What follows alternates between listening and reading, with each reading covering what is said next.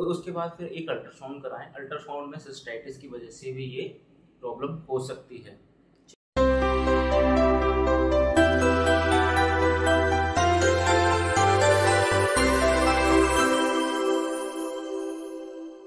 Hello दोस्तों मेरा नाम डॉक्टर गोविंद शर्मा। मेरा YouTube channel doctor Govind Medicare आप देख रहे हैं। आ, मेरे पास काफ़ी कमेंट्स है आई थी तो आज मैं उन्हीं का मैं जवाब देने वाला हूँ। एक ही चरणजीत सिंह ही उन्होंने बोला है कि मेरी बेटी को पेशाब में जलन है और पेट में दर्द हो रहा है, ठीक है?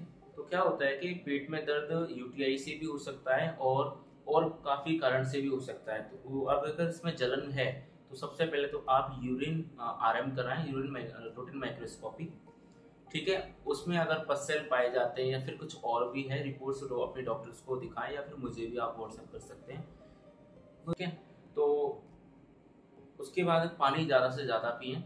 पानी इतना पिए कि तीन से चार लीटर अगर कार्डिक दिक्कत है, किसी को कार्डिक प्रॉब्लम है, जैसे कि दिल की बीमारियाँ, जैसे कि कार्डिया दिल कम चल रहा है किसी का, जैसे डी होता है तो उसमें लिमिटेड पानी होता है तो वो अपने डॉक्टर से सलाह लेके पिए, ठीक है? और ज़्यादा से ज़्यादा पानी का ध्यान रखना है, पीने का, और प्लस खाना आपने, भारी खाना नहीं खाना है, और जो साफ़ जो वॉशरूम होता है, आपको वो यूज़ करना है, और अगर अगर ये मैरिड हैं तो इनको वी वॉश वगैरह आप ये यूज़ करा सकते हैं और प्लस कहीं पर भी गंदा वॉशरूम यूज़ ना करें, ठीक है? ये आपने ध्यान रखना है।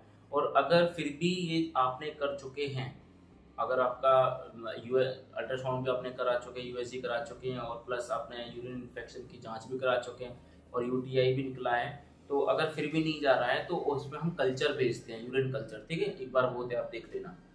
एक है नयाब एक है कि उनको भी पेशाब में काफ़ी जलन है और इनके पेट में भी काफ़ी दर्द रहता है और काफ़ी डॉक्टर को दिखाया मगर उनको फ़ायदा नहीं मिल रहा है। तो मैं सिर्फ़ यही आपसे कहूँगा, सबसे पहले आप आप ये देखें आपके ना पानी कितना पी रहे हैं पर डे। तीन से चार लीटर आपको पानी पीना है, यूरिन, आरएम एक रिपोर्ट करानी है, और उसके बाद एक टेस्ट कराना है सीबीसी जो कि कंप्लीट ब्लड काउंट होता है, जो ब्लड से होता है, ठीक है?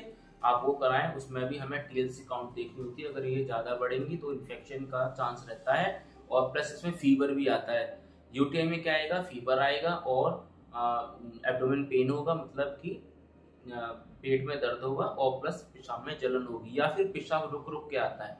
तो उसमें पथरी से भी हो सकता है, ठीक है? किडनी की प्रॉब्लम हो सकती है, उसकी वजह से भी यूटीआई हो सकता है या फिर पसेल ज़्यादा हो गए हों, उसकी वजह से भी ये चीज़ हो सकती है। और इसमें आप एक अल्ट्रासाउंड करा लें तो और अच्छा रहेगा आपके लिए। तो हमें पता लग जाएगा बेसिकली कि ये चल क्या रहा है, क्योंकि सिस्टाइटिस से भी यूरिन इन्फेक्शन होता है और उससे जलन भी होती है, उससे दर्द भी होता है, उससे खून भी आता है। तो आप ये देख लें और उसके बाद अगर आपको फ़ायदा नहीं मिल रहा है तो एक बार आप मुझसे भी बात कर सकते हैं। एक पेशेंट और है मेरे पास, उनकी कमेंट आई है गुलशन कुमार है। सर, मेरे पेशाब में खून आ रहा है। अच्छा। तो हम इसमें हम यही कर सकते हैं कि जी गुलशन कुमार जी, आपको मैं सिर्फ़ यही सलाह दूँगा। सबसे पहले आप यूरिन माइक्रोस्कोपिक एक टेस्ट होता है, वो आप कराएँ। सब, और उसके बाद सीबी से ज़रूर कराएँ। और एक टेस्ट आता है पीटीआई एन एक ये कराएँ। क्या होता है कि सीबीसी में ज़्यादा ब्लड लॉस हो लॉस ना हो, हमें वो भी देखना होता है। इन्फेक्शन ज़्यादा हो हो रहा हो, वो भी हमें देखना होता है। एक अल्ट्रासाउंड भी करा सकते हैं आप, और सिस्टाइटिस की वजह से भी ब्लड आ सकता है, या फिर अंदर यूटीआई से भी ब्लड आ सकता है, ठीक है? अगर आप मैरिड हैं तो मैं तो अब यही कहूँगा कि आप ज़्यादा से ज़्यादा पानी पिए और डाइट का ध्यान रखें और प्लस अपने डॉक्टर से जल्दी से जल्दी सलाह लें, क्योंकि यूरिन में अगर ब्लड आ रहा है ना तो इसका मतलब ये देखो दो यूटीआई होती हैं।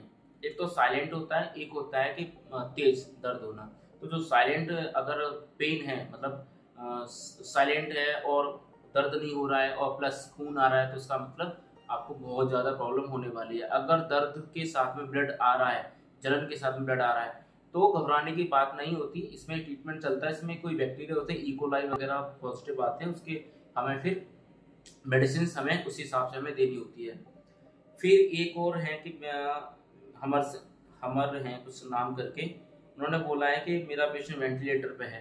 तो सर देखो वेंटिलेटर एक छोटी मशीन नहीं होती। वेंटिलेटर एक बहुत बड़ी मशीन है। जो कि कॉन्सेप्ट इंडिया में भी और बाहर भी क्योंकि वेंटिलेटर से बड़ी कोई मशीन आती नहीं। वेंटिलेटर जब हम पेशेंट डालते हैं तो सबसे पहले उसके पेशेंट की वाइटल्स देखते हैं। अगर वाइटल्स नहीं है जीसी जीसीएस देखते हैं, जो कि एक बेहोशी बेहोशी तो नहीं है पेशेंट वो भी हमें देखा जाता है। कुछ ए बी जी हम करते हैं आइटल ब्लड गैस एनालिसिस ये हमें एक ए बी जी रिपोर्ट देखते हैं, वो हमें उस हिसाब से हमें वेंटिलेटर इसमें कि हम P C O two P O two हम ये तरीके से देखते हैं ठीक है? तो वेंटिलेटर का तो बहुत बड़ा कॉन्सेप्ट है कि कैसे पेशेंट बाहर आएगा। तो वो आपको ए की रिपोर्ट पे वाइटल्स की रिपोर्ट पे और जो आईसीयू में जो भी डॉक्टर्स हैं आप वो क्या बोल रहे हैं उस हिसाब से आपको उन, उनकी बात माननी चाहिए। ऐसे किसी को आप मैसेज और कॉल करके ना पूछें क्योंकि जो एक्चुअल कंडीशन है आपके आईसीयू जो पेशेंट एक्चुअल कंडीशन है वही आपको बता पाएँगे, क्योंकि ऐसे मैं भी, मैं आपको वही बता रहा हूँ कि एबीजी पे ही हम डिसाइड करते हैं और पेशेंट की कंडीशन पे कि कब पेशेंट बाहर आता है। तीन फेस होते हैं पेशेंट के, जैसे कि वेंटिलेटर पे हम डालेंगे तो उसके बाद हम एक छोटे मोड पे डालते हैं, फिर हम एक सीपैक मोड पे डालते हैं, फिर हमें टीपीस पे डालते हैं, फिर एक्सट्रीबेट करते हैं। इसमें बहुत लंबा प्रोसेस होता है।